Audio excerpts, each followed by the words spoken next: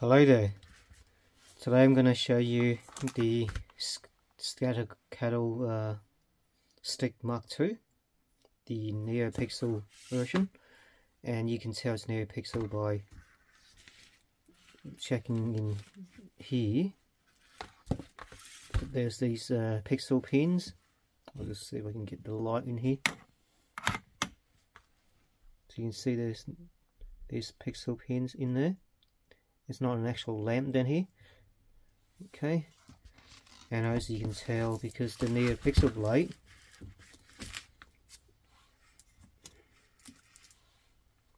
is not hollow, it's got this um, connector here, metal connector, and all the blade is um, made up of little pixels.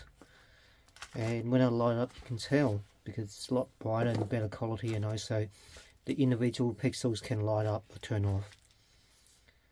Um, and it comes with a um, USB um, micro SD card reader, micro SD card reader, um, Allen key for installing uh, installing the blade there.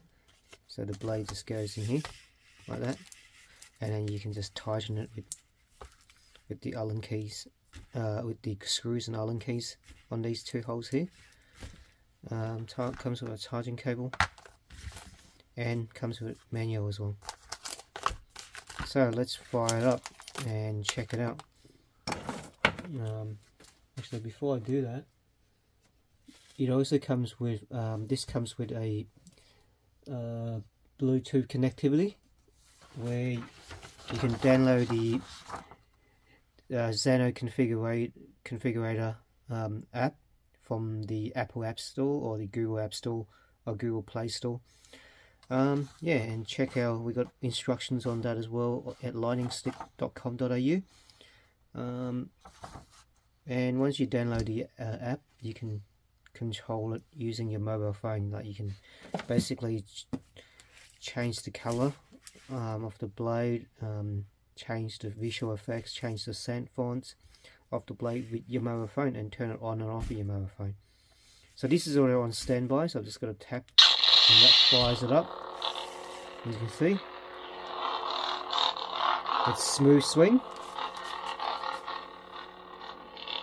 Tap it once. Tap it once is blast effect. And then if you tap and hold um, then you would turn it turn it off. And then while it's, uh, while it's on standby mode um, tap and hold.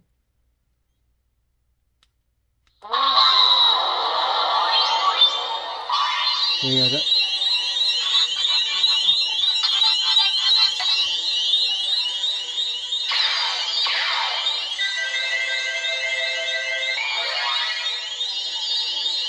change. While it's turned on, tap and hold for two flashes. You can see the flash here, and that would change the colour of the blade. It just keeps rotating until you press the button again to select the colour you want. So I'm going to rotate to purple and then tap.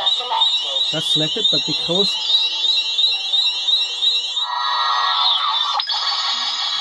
Sure you heard much of that because it's really loud, but also you can mute it and you can also um, turn the volume lower or higher as well. Um, so sorry, that was really loud. I was trying to say that whilst the blades turn on, you can press and hold, wait for two flashes here and um, let go. Then the colour of the blade would change. So that's what you saw there. Um, and to select a different send point, press and hold and wait for two flash. Broken ignition. That's a different um, blade um, ignition type. It's broken ignition. Let's check it out.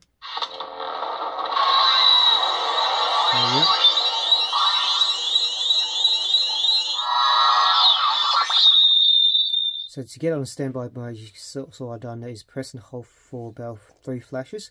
Now while it's turned on standby mode, you press and hold for three flashes on this thing. That would take change the um, different blade type, like it's like a scent font type. Broken ignition. So that's I think that was more of the blade um, ignition type. I'll just try again.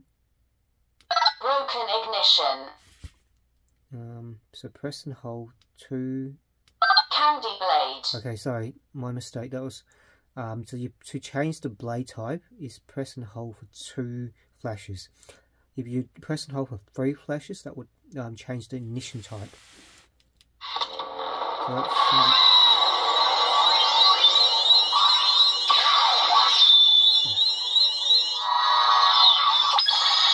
was the that was the candy blade. Cracked blade.